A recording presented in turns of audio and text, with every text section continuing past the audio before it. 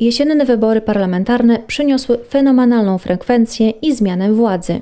Wybory samorządowe odbyte w ostatnim miesiącu sukcesu frekwencyjnego nie powtórzyły, co kandydaci uzasadniali nie tyle nudną kampanią wyborczą, co zmęczeniem elektoratu. Tymczasem przed Polakami kolejne decyzje. Już 9 czerwca powinni skorzystać z przywileju wyborczego i wskazać nowych przedstawicieli do Parlamentu Europejskiego. Jeżeli nie pójdziemy do tych wyborów, możemy nie mieć swego przedstawiciela w Brukseli. Wybory europejskie bowiem premiują frekwencję. Tak działa europejska demokracja. Polska właśnie świętowała dwudziestolecie obecności w Unii, której podstawą jest demokracja. O ile w 2003 roku w referendum decydującym o przystąpieniu Polski do Unii udział wzięło niemal 59% rodaków, to w pierwszych unijnych wyborach zagłosowało niespełna 21% uprawnionych.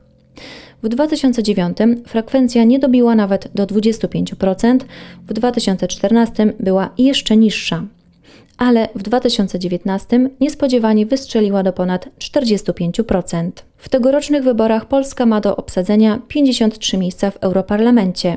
I tylko od naszej obywatelskiej frekwencji zależy, ile mandatów otrzyma nasz okręg.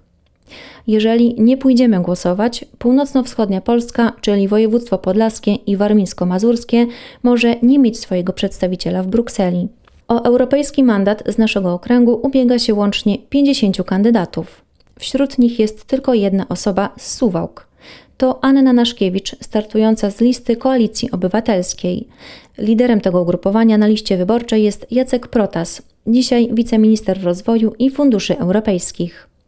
Ten sam, który po naszej publikacji i interwencji poselskiej Jacka Niedźwieckiego doprowadził do włączenia Suwalszczyzny do rządowego programu rozwoju północno-wschodnich obszarów przygranicznych na lata 2024-2030, co osobiście ogłosił kilka tygodni temu w Sejnach.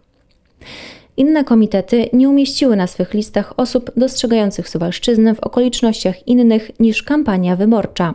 Proponuje się nam więc tzw. Tak spadochroniarzy, którzy po uzyskaniu mandatu mogą łatwo i szybko zapomnieć o naszym regionie. PiS dla przykładu proponuje na jedynce skompromitowanego sądowym orzeczeniem, a później ułaskawionego przez Andrzeja Dudę Macieja Wąsika. Warto więc pójść 9 czerwca do wyborów, choćby po to, by nasz region miał w Brukseli nie tylko swojego człowieka, ale też by był to ktoś, kto zna Suwalszczyznę nie tylko z lekcji geografii.